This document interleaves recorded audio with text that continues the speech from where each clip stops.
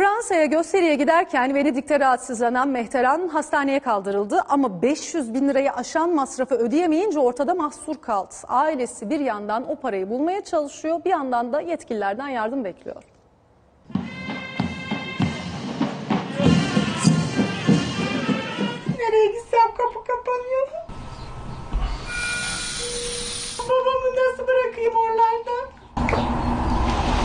Orası Venedik. Mahsur kalansa Mehteran Ömer Turus. Fransa'ya mehter gösterisine gidiyordu. Aniden rahatsızlandı. Venedik'te bir hastaneye kaldırıldı.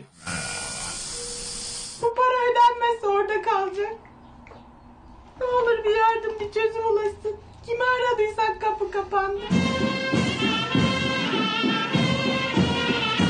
Ömer Turus bir süre önce İznik Mehteran Derneği Mehter takımında günlüğü 70 liraya iş buldu. 60 kişilik ekiple Osmanlı günleri için Fransa'ya doğru otobüsle yola çıktılar. Ancak Venedik'e vardıklarında aniden rahatsızlandı. babam şu anda yani aklı gidip geliyor.